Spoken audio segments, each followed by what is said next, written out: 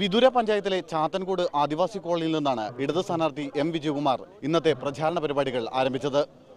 ചാത്തൻകോട്ടെ അംഗൻവാടി മുറ്റത്ത് മരത്തൈ നട്ടായിരുന്നു കോളനിയിലെ പര്യടനത്തിന് വിജയകുമാർ തുടക്കം കുറിച്ചത്. അൻപതോളം ആദിവാസി കുടുംബങ്ങളാണ് ഈ കോളനിയിലുള്ളത്. കോളനിയിലെ പ്രശ്നങ്ങൾ ആദിവാസി മൂപ്പനുമായും പ്രാദേശിക നേതാക്കളുമായും വിജയകുമാർ സംസാരിച്ചു. വളരെ പരിതാപകരമായ സ്ഥിതിയാണ്. വളരെ പിന്നോക്കമാണ്. അങ്ങേയറ്റ പിന്നോക്കമാണ്. അതുകൊണ്ട് ഞങ്ങൾക്ക് ഒരു അവസരമുണ്ടായാൽ ഇതിനാണ് മുൻഗണന. മുഖ്യ പരിഗണന ആദിവാസി മേഖലയിലെ അടിസ്ഥാന സൗകര്യങ്ങൾ.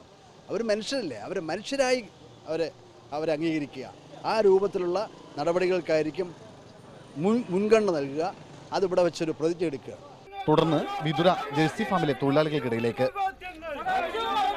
ആവേശകരമായ സ്വീകരണമാണ് സ്ഥാനാർത്ഥിക്ക് തൊഴിലാളികൾ ഇവിടെ നൽകിയത്. ഉച്ചയ്ക്ക് ശേഷം തൊളിക്കോട് പഞ്ചായത്തിലെ വിവിധ പ്രദേശങ്ങളിലും വിജയകുമാർ പര്യടനം നടത്തി.